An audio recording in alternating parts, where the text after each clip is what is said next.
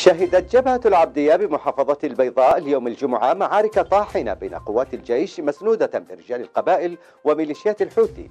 وتعد جبهة العبدية البوابة الشمالية لتحرير محافظة البيضاء من الميليشيات التابعة لإيران كما تعتبر البوابة الجنوبية لمحافظة مارب الغنية بالنفط والتي تسعى خلالها الميليشيات إلى تحقيق تقدم في تلك الجبهة لكنها تواجه بصلابة قوات الجيش والقبائل.